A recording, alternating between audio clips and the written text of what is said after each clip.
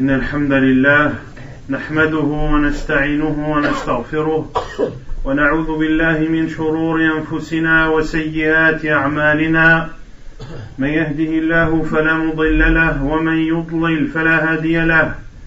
وأشهد أن لا إله إلا الله وحده لا شريك له. وأشهد أن محمدا عبده ورسوله. يا أيها الذين آمنوا اتقوا الله حق تقاته. ولا تموتن إلا وأنتم مسلمون. يا أيها الناس اتقوا ربكم الذي خلقكم من نفس واحدة وخلق منها زوجها وبث منهما رجالا كثيرا ونساء.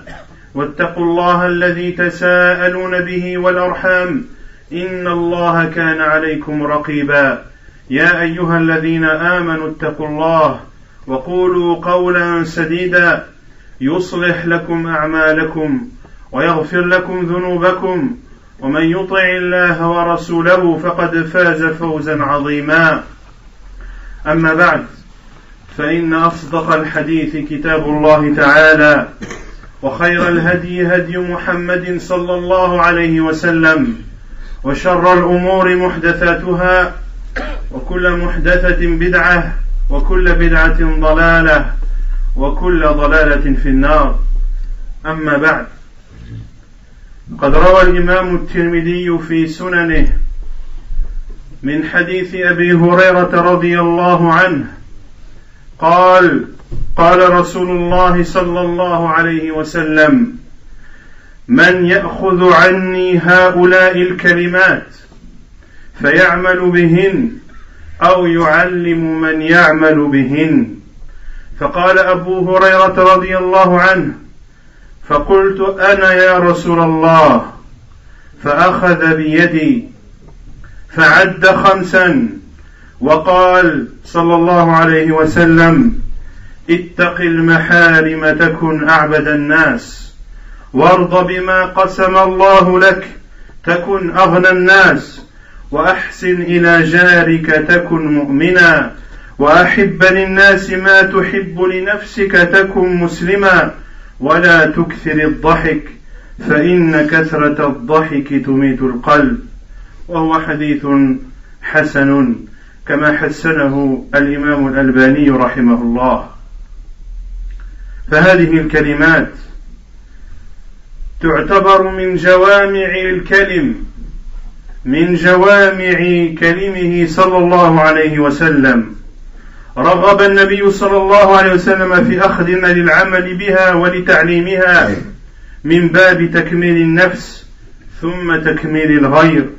فإن كمال النجاة متوقفة متوقف على تكميل النفس وتكميل الغير كما قال تعالى والعصر إن الإنسان لفي خسر إلا الذين آمنوا وعملوا الصالحات فبهذه الأعمال كملوا أنفسهم وتواصوا بالحق وتواصوا بالصبر لتكميل غيرهم. وقول أبي هريرة رضي الله عنه أنا يا رسول الله أي أنا آخذ عنك هذه الكلمات وفيه إشارة إلى ما كان عليه من الحرص على الخير رضي الله تعالى عنه. وقوله فأخذ بيدي أي أن النبي صلى الله عليه وسلم أخذ بيده لعد هذه الكلمات أو لأنه صلى الله عليه وسلم كان يأخذ عند التعليم بيد من يعلمه. وقوله فعد خمسا أي من الخصال أو عد خمسا من الأصابع على ما هو متعارف واحدة بعد واحدة. وقال عليه الصلاة والسلام اتق المحارم تكن أعبد الناس. أي احذر الوقوع في جميع ما حرم الله عليك. والله عز وجل يقول وقد فصل لكم ما حرم عليكم. فالمحرمات المقطوع بها مذكورة في الكتاب والسنة فما ورد التصريح بتحريمه في كتاب الله وفي سنة رسول الله صلى الله عليه وسلم فهو محرم وقد تستفاد الحرمة من النهي كما تستفاد أيضا من الوعيد الشديد المترتب على الفعل. Abu Huraira radiallahu anhu rapporte du prophète sallallahu alayhi wa sallam comme cela est rapporté dans les sunan de l'imam al-Tirmidhi rahimahullahu ta'ala.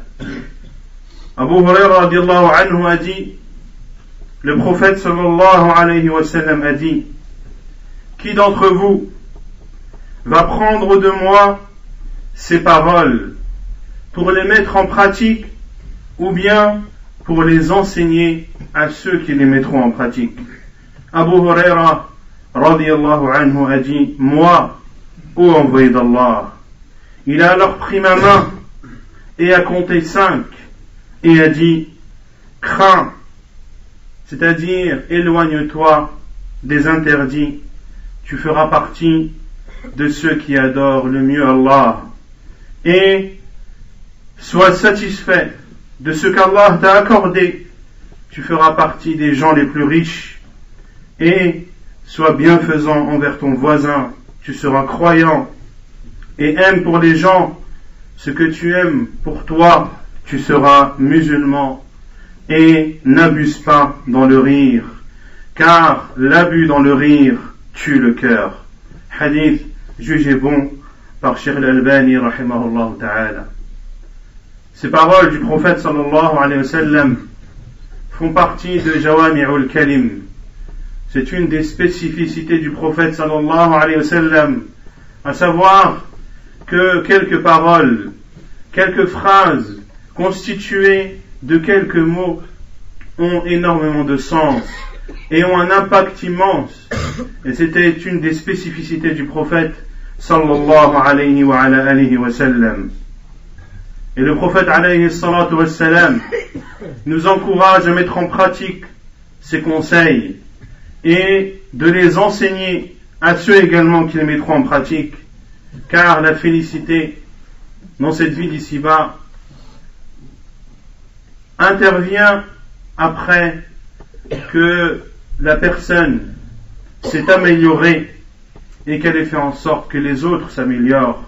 Ainsi Allah lorsqu'il a juré dans Surat al-Asr, Surat le temps, par le temps, l'être humain est certes dans la perdition, sauf ceux qui croient et accomplissent de bonnes œuvres, c'est-à-dire qu'ils se perfectionnent eux-mêmes. Et il a dit Allah et ceux qui, ceux qui se conseillent mutuellement la vérité, et ceux qui se conseillent mutuellement la patience, et ceci pour que les autres s'améliorent. Et Abu Huraira n'a pas hésité à dire, moi, ô envoyé d'Allah, je me porte volontaire pour prendre de toi ces paroles, pour les mettre en pratique et pour les enseigner également. Et ceci prouve la grande motivation et le dévouement de ce compagnon du prophète sallallahu alayhi wa sallam, qui fait partie des compagnons qui ont réuni et qui nous ont rapporté le plus de hadiths du prophète sallallahu alayhi wa sallam. Il a alors pris ma main. Il a alors pris ma main, ainsi le faisait le prophète sallallahu alayhi wa sallam. Il prenait la main de celui à qui il enseignait et il a compté cinq. Il a compté cinq. On peut comprendre de cette parole d'Abu Hurairah que le prophète sallallahu alayhi wa sallam a compté les cinq paroles ou les cinq directives qui allait lui diriger, ou bien alors que le professeur sallam a compté les cinq doigts de la main d'Abu Huraira radiyallahu anhu. Puis le professeur sallam a commencé son enseignement et a dit crains les interdits, tu feras partie des gens qui adorent le mieux Allah. C'est-à-dire prends garde de ne pas tomber dans l'interdit et abstiens-toi de tout ce que Allah subhanahu wa ta'ala t'a interdit. Et Allah azza nous a explicitement décrit toutes les choses interdites dans son livre sacré ainsi que ce prophète sallallahu alayhi wa sallam dans sa sunna purifiée. Les interdits sont présents donc dans le livre d'Allah et dans la sunna du prophète sallallahu alayhi wa sallam. Ce qui est rapporté comme étant interdit est alors interdit. Mais l'on peut aussi déduire l'interdiction de la mise en garde que, peut faire Allah Azzawajal ou que peut faire son envoyé sallam. Mais on peut déduire également l'interdiction d'une chose lorsque il y a une menace, lorsqu'Allah Azzawajal menace d'un châtiment ou lorsque son prophète sallam menace d'un châtiment, cela signifie que cette chose est interdite. اتق المحارم تكن أعبد الناس أي من أعبدهم لأنه يلزم من ترك المحارم فعل الفرائض. فباتقاء المحارم تبقى الصحيفة نقية فالقليل من التطوع. من ذلك ينمو وتعظم بركته فيصير ذلك المتقي من أكابر العباد. ولقد بين الله سبحانه وتعالى أن تعظيم المحارم خير للعباد. فقال سبحانه ذلك ومن يعظم حرمات الله فهو خير له عند ربه. قال ابن كثير رحمه الله في تفسيره أي ومن يجتنب معاصيه ومحارمه ويكون ارتكابها عظيما في نفسه فهو خير له عند ربه. أي فله على ذلك خير كثير وثواب جزيل فكما يجزيه على فعل الطاعات ثوابا كثيرا واجرا جزيلا كذلك على ترك المحرمات واجتناب المحظورات Le prophète sallam a donc dit à Abu Huraira Éloigne-toi des interdits, tu seras parti ou tu feras partie des gens qui adorent le mieux Allah c'est-à-dire que tu adoreras le plus Allah Azzawajal, car le fait de délaisser les interdits implique clairement l'accentuation des adorations et le fait de faire les obligations et de délaisser les interdits va faire en sorte que tes péchés seront moindres. Et donc que le peu de bonnes actions que tu feras t'apportera énormément de bien et elles ne seront pas effacées ni annulées par des interdits. Les adorations donc que tu feras seront bénies par Allah Azzawajal et t'apporteront un immense bien. Et Allah Azzawajal nous a montré dans son livre l'importance de connaître la gravité et de ressentir la gravité des péchés. Ainsi Allah a dit dans Surat Al-Hajj, le verset 30, et quiconque prend en haute considération les limites sacrées d'Allah, cela lui sera meilleur auprès de son Seigneur. Cela lui sera meilleur auprès de son Seigneur. Celui qui donne aux interdits d'Allah leur juste valeur. Celui qui donne aux interdits d'Allah la grande considération qu'il faut avoir.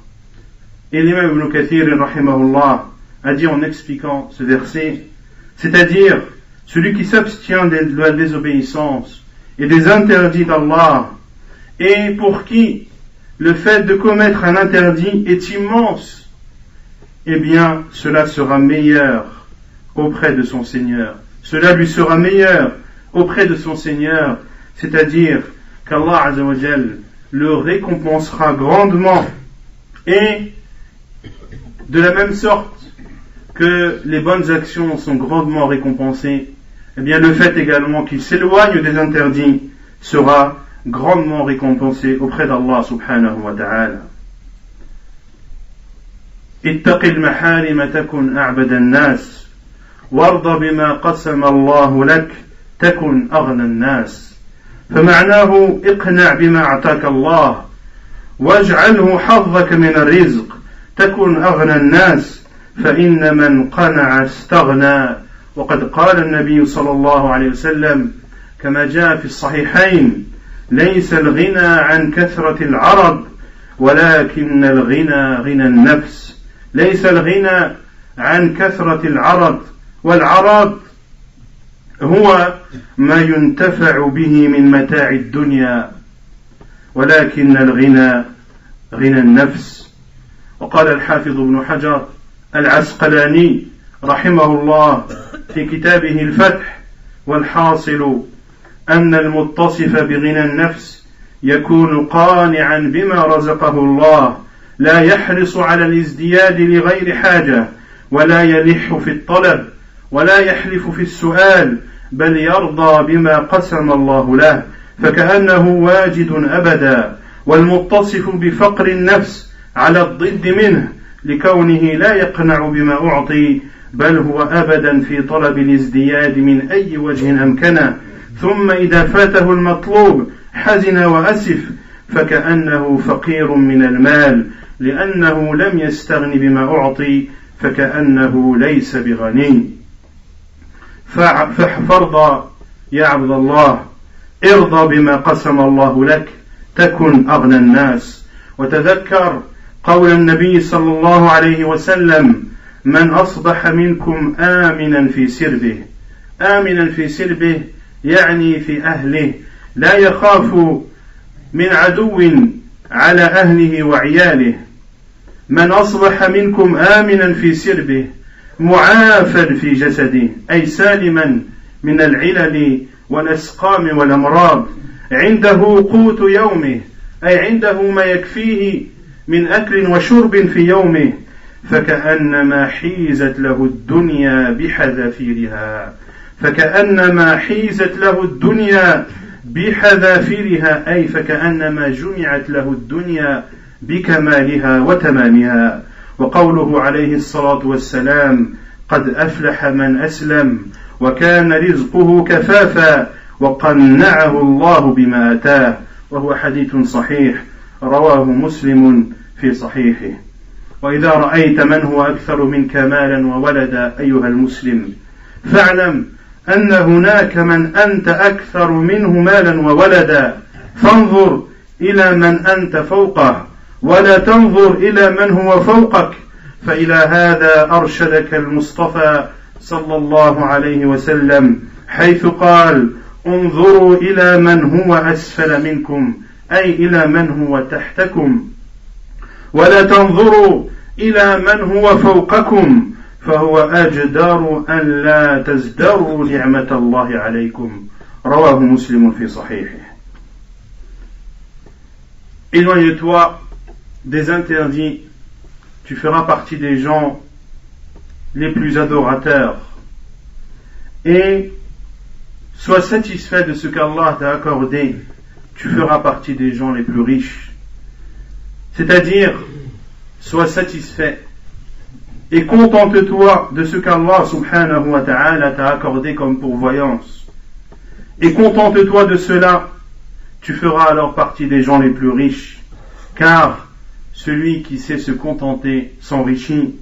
Et le prophète sallallahu alayhi wa sallam a dit, la richesse, ce n'est pas dans l'accumulation des biens de cette vie d'ici-bas, mais la richesse, c'est la richesse de l'âme. Hadith rapporté par Al-Bukhari et Muslim. Et le Hafid ibn Hajar, rahimahullah, a dit dans son livre Al-Fath, dans lequel il explique l'authentique de l'imam Al-Bukhari, il dit, rahimahullah, celui qui est doté de la richesse de l'âme se contentera de ce qu'Allah subhanahu wa ta'ala lui a donné comme pourvoyance. Il ne cherchera pas plus sans besoin. Il ne demandera donc pas. Il ne jurera pas pour demander. Mais il se contentera de ce qu'Allah lui a donné. Il est considéré ou il sera comme étant toujours rassasié. Quant à celui qui est doté de la pauvreté de l'âme, c'est totalement le contraire. Il n'est jamais satisfait de ce qu'il a et de ce qu'Allah lui a accordé et il cherche toujours plus. Et ceci, quels que soient les moyens et les efforts où il est prêt à donner ou à produire tous les efforts et à utiliser tous les moyens pour avoir toujours plus. Et lorsqu'il n'a pas, c'est alors qu'il devient triste et qu'il est pris de regret. Il est alors en réalité pauvre. Il est en réalité pauvre car ne se contentant, car ne se contentant pas de ce qu'il a, il n'est pas considéré, il ne se considère pas comme un riche.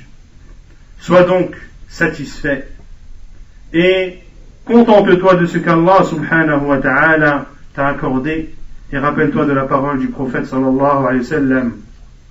Celui qui se trouve en toute sécurité auprès de sa famille, c'est-à-dire qui n'a pas peur qu'un ennemi vienne lui porter atteinte ou porter atteinte à sa famille, qui est épargné dans son corps, c'est-à-dire que son corps est sain, est épargné de maladies et de douleurs, et qui a de quoi boire et de quoi manger dans son jour, alors cela est comparable ou ce, cela équivaut à ce que la terre lui est rassemblée devant lui. Il est comparable à celui dont la terre est à sa disposition.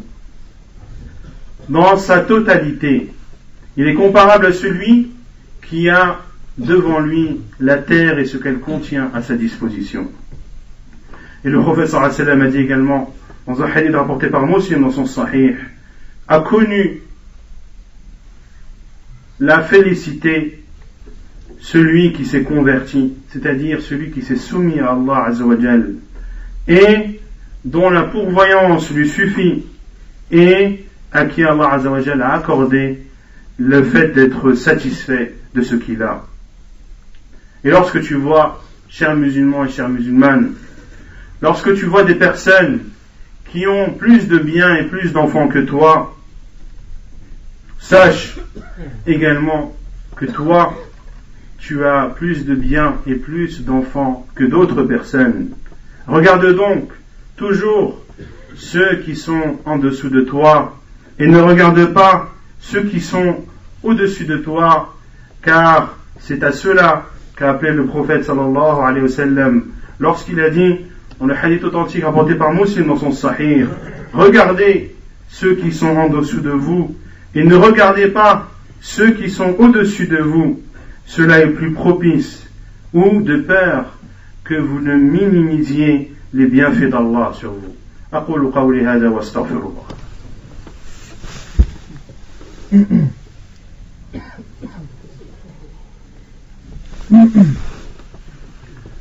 الحمد لله رب العالمين والصلاة والسلام على أشرف الأنبياء وإمام المرسلين نبينا محمد وعلى آله وصحبه أجمعين أما بعد قال عليه الصلاة والسلام اتق المحارم تكن أعبد الناس وارض بما قسم الله لك تكن أغنى الناس ثم قال عليه الصلاة والسلام وأحسن إلى جارك تكن مؤمنا.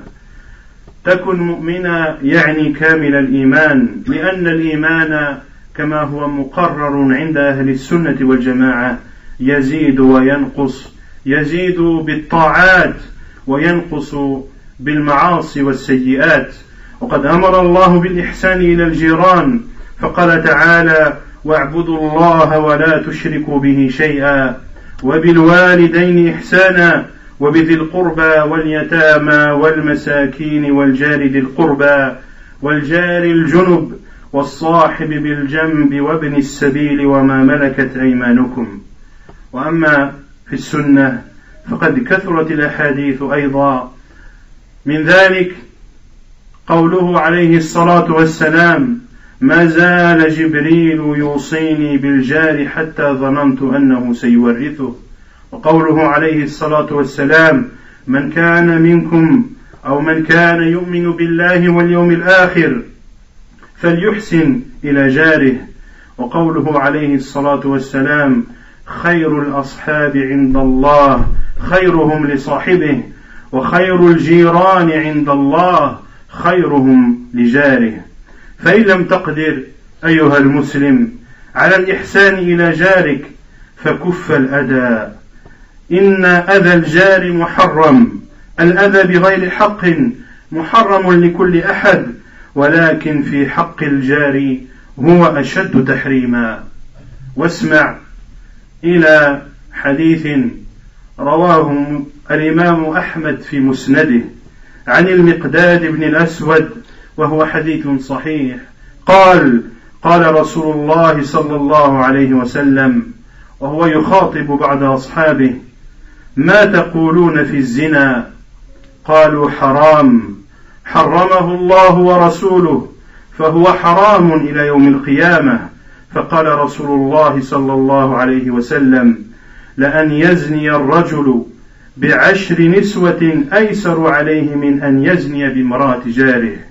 قال فما تقولون في السرقة قالوا حرام حرمها الله ورسوله فهي حرام قال لأن يسرق الرجل من عشرة أبيات أيسر عليه من أن يسرق من بيت جاره والعياذ بالله Éloigne-toi des interdits, tu feras partie des plus grands adorateurs. Et sois satisfait de ce qu'Allah t'a accordé, tu feras partie des gens les plus riches. Et sois bienfaisant envers ton voisin, tu seras croyant. Tu seras croyant, c'est-à-dire que ta foi sera complète. Car la foi, comme cela est approuvé, ou comme cela doit être la croyance de chaque musulman, la foi augmente et diminue. Elle augmente grâce aux adorations et elle baisse à cause des péchés et des désobéissances. Et Allah Azzawajal, dans son livre sacré, nous a ordonné d'être bienfaisants envers les voisins. Il dit subhanahu wa ta'ala dans le verset 36 de Surat les femmes, adorez Allah et ne lui donnez aucun associé, agissez avec bienfaisance envers vos pères et mères, les proches, les orphelins, les pauvres, le proche voisin, le voisin lointain, le collègue et le voyageur. Quant au hadith du prophète sallallahu alayhi wa sallam, ils sont également nombreux à ce sujet. Parmi les paroles du prophète sallallahu alayhi wa sallam, sa parole lorsqu'il dit Jibril, n'a cessé de me conseiller sur le voisin jusqu'à ce que j'ai cru que ce voisin allait avoir une part d'héritage. Hadith rapporté par Al-Bukhari et Muslim. Et il dit aussi, sallallahu alayhi wa sallam, comme cela est rapporté par Muslim dans son Sahih, celui qui croit en Allah et au jour dernier, qu'il soit bienfaisant envers son voisin. Et il dit aussi, sallallahu alayhi wa sallam, dans un hadith authentique rapporté par At-Tirmidhi dans ses Sunan, les meilleurs des amis ou les meilleurs des compagnons chez Allah sont ceux qui sont les meilleurs avec, leurs compagnons. Et les meilleurs voisins auprès d'Allah sont ceux qui sont les meilleurs avec leurs voisins. Si tu ne peux pas, chers musulmans et chères musulmanes, si tu ne peux pas être bienfaisant envers tes voisins, alors au minimum, épargne-les de ton mal, car le mal ou d'offenser le voisin est interdit. L'offense envers quiconque sans droit est interdite, mais l'interdiction est d'autant plus prononcée lorsque il s'agit du voisin. Et écoutez un hadith rapporté par l'imam Ahmed dans son Musnad et c'est un hadith authentique, selon Al-Miqdad ibn al-Aswad, il dit, le prophète sallallahu alayhi wa sallam a dit, en s'adressant à certains de ses compagnons, que dites-vous sur la fornication? Ils ont dit, elle est interdite. Elle est interdite. Allah ainsi que son envoyé l'ont interdit. Et la fornication est interdite jusqu'à jusqu'au jour dernier jusqu'à la fin des temps. Et le prophète sallallahu alayhi wa sallam a dit qu'un homme fornique avec dix femmes est moindre que de forniquer avec la femme de son voisin. Puis il a dit sallallahu alayhi wa sallam que dites-vous sur le vol? Ils ont dit il est interdit. Allah et son envoyé l'ont interdit, donc le vol est interdit. Il a dit, sallallahu alayhi wa sallam, qu'un homme vole dix maisons, cela est moindre que de voler la maison de son voisin. اتق المحارم تكن أعبد الناس وارض بما قسم الله لك تكن أغنى الناس وأحسن إلى جارك تكن مؤمنا. وقال عليه الصلاة والسلام أحب للناس ما تحب لنفسك تكن مسلما. أي تكون كامل الإسلام وهو يفيد على قدر نقصان هذا الحب وهو يفيد أنه على قدر نقصان هذا الحب ينقص الإسلام. وقد رتب النبي صلى الله عليه وسلم على هذه الخصلة دخول الجنة فقال عليه الصلاة والسلام من أحب أن يزحزح عن النار أي أن يبعد عن النار ويدخل الجنة فلتدركه منيته أي فليمت وهو مؤمن بالله واليوم الآخر. وليأتي إلى الناس الذي يحب أن يؤتى إليه. وليأتي إلى الناس الذي يحب أن يؤتى إليه. وفي الجملة ينبغي للمؤمن أن يحب للمؤمنين ما يحب لنفسه. وأن يكره لهم ما يكره لنفسه. فإن رأى في أخيه المسلم نقصا في دينه اجتهد في إصلاحه. وإن رأى في غيره فضيلة فاق بها عليه. فيتمنى لنفسه مثلها فإن كانت الفضيلة دينية كان حسنا. وقد قال النبي صلى الله عليه وسلم لا حسد إلا في اثنتين رجل آتاه الله مالا فسلطه على هلكته في الحق أي على أهله في الحق. ورجل آتاه الله حكمة فهو يقضي بها ويعلمها. Éloigne-toi des interdits, tu feras partie des plus grands adorateurs. Et contente-toi de ce qu'Allah t'a donné, tu feras partie des où tu seras riche. Et sois bienfaisant envers ton voisin, tu seras croyant. Puis le professeur Hassan a dit, et aime pour les gens ce que tu aimes pour toi, tu seras musulman. C'est-à-dire que ton islam sera complet.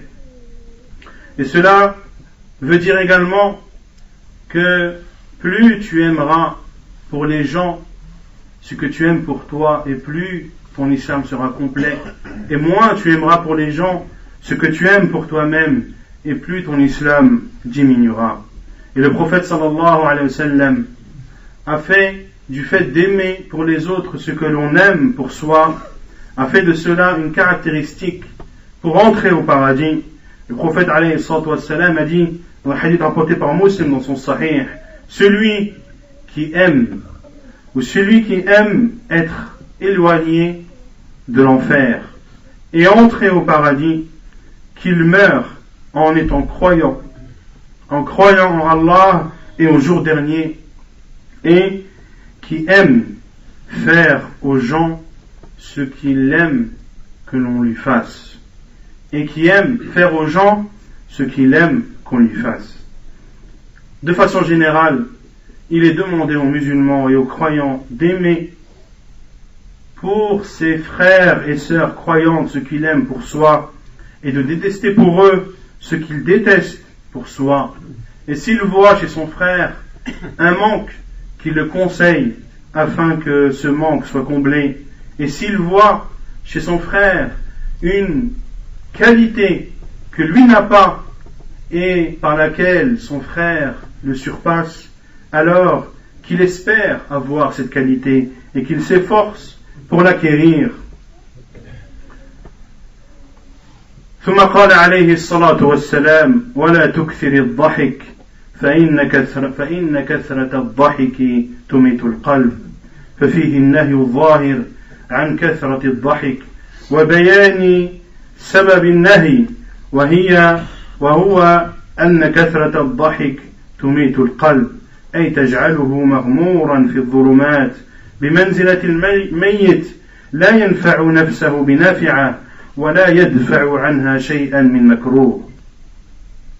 وفي الحديث إذان بالإذن في قليل الضحك لا سيما للمصلحة وهذا هو هدي النبيين وعباد الله الصالحين. قال تعالى عن سليمان لما سمع قول النمل قالت نملة يا أيها النمل ادخلوا مساكنكم لا يحطمنكم سليمان وجنوده وهم لا يشعرون. فتبسم ضاحكا من قولها.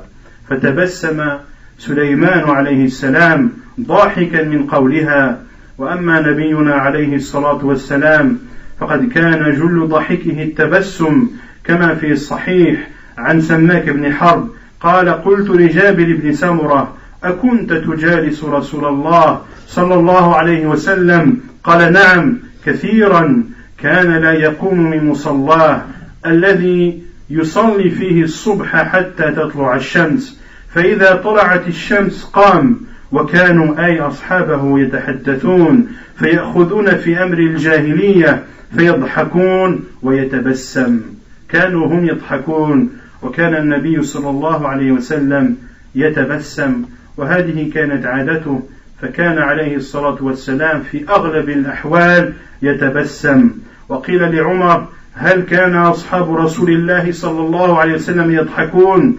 قال نعم والإيمان والله أثبت في قلوبهم من الجبال الرواسي. ولقد بلغ من سماحة الإسلام أن جعل التبسم وطلاقة الوجه عند لقاء الأخ لأخيه من الصدقات فعن أبي ذر رضي الله عنه قال قال للنبي صلى الله عليه وسلم لا تحقرن من المعروف شيئا ولو أن تلقى أخاك بوجه طلق ولو أن تلقى أخاك بوجه طلق. رواه مسلم في صحيحه. فإن الإسلام أيها المسلمون دين يقف مع الإنسان على أرض الحقيقة.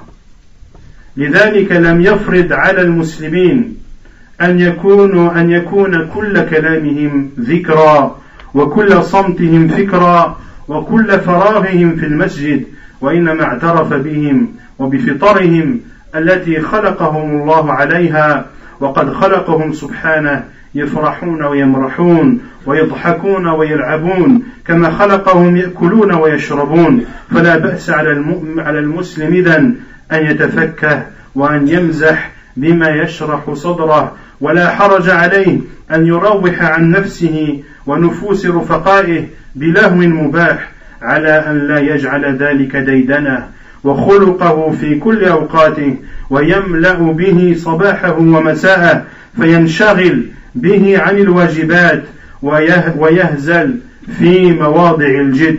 ولذا قيل أعط الكلام من المزح أو من المزح من المزح بقدر ما يعطى الطعام من الملح et ne rigole pas trop car le fait de trop rire tue le cœur ceci est une interdiction du prophète sallallahu alayhi wa sallam de ne pas trop rire. Et la cause est que le fait de trop rire tue le cœur. C'est-à-dire que le fait de trop rire rend le cœur noir et met le cœur sur le même piédestal qu'un mort qui ne peut ni apporter un bien ni épargner un mal. Et dans ce hadith, le wa sallam autorise également de rire, mais en faible quantité. Et cela était la voix des prophètes et des personnes vertueuses. Lorsqu'Allah a dit sur Sulaiman alayhi salam, lorsqu'il a entendu la parole de cette fourmi, cette fourmi, comme Allah nous en informe dans Surat la fourmi, le verset 18, la fourmi a dit, Ô vous les fourmis, et c'était la reine des fourmis qui s'est adressée aux autres fourmis de sa fourmilière, ô vous les fourmis, entrez dans vos demeures, de peur que Suleiman et son armée ne vous écrasent sans qu'ils ne s'en rendent compte.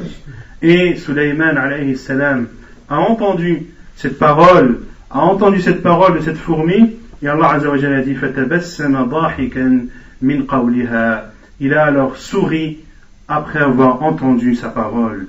Quant à notre prophète sallallahu la plupart de ces rires étaient des sourires, comme le rapporte Jabir ibn Samura, qui côtoyait beaucoup le prophète sallallahu alayhi wa sallam. Et lorsque Samek ibn Harb l'a questionné, et a dit à Jabir ibn Samura, côtoyais-tu souvent le prophète sallallahu alayhi wa sallam? Il a dit oui, très souvent. Le prophète sallallahu alayhi wa sallam ne se levait de l'endroit où il avait prié la prière de Sobh jusqu'à ce que le soleil se soit levé. Et lorsque le soleil s'était levé, il partait et il parlait, c'est-à-dire les compagnons du wa sallam.